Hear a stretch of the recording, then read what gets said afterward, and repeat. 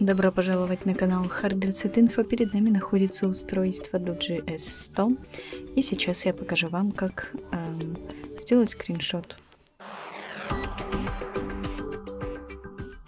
Итак, первый способ мы можем зажать кнопочку питания и уменьшение громкости.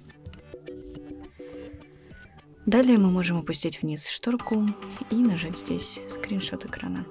И здесь мы можем сделать либо снимок экрана, либо прямоугольник, Э, прямоугольный снимок, либо э, фигуристый, например. Вот. И на этом все. Спасибо за просмотр, ставьте лайки, подписывайтесь на наш канал.